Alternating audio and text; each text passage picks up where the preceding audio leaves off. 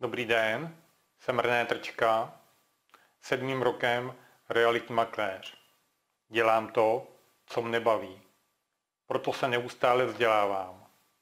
V pátek jsem se zúčastnil semináře na téma osobní produktivita a efektivita s Martinem Tesárkem. Nebyla to žádná omáčka, žádná vata, ale domů jsem přijel naprosto nadšený. Byly to rady a návody, které nám ušetří spoustu času a zjednoduší naši práci, pokud je však začneme používat.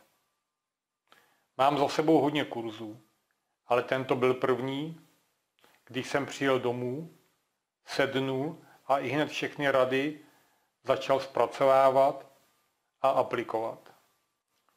Dnes je neděle a já jsem téměř celý víkend pracoval a zpracovával všechny rady, které nám Martin Tesárek ukázal a které nás naučil. Všem, kdo chtějí pracovat efektivně, seminář doporučuji. A to nejen realitním makléřům. A jako bonus jsme dostali knížku. Přečetl jsem první kapitolu a věřím, že bude skvělá. Martine, moc děkuji.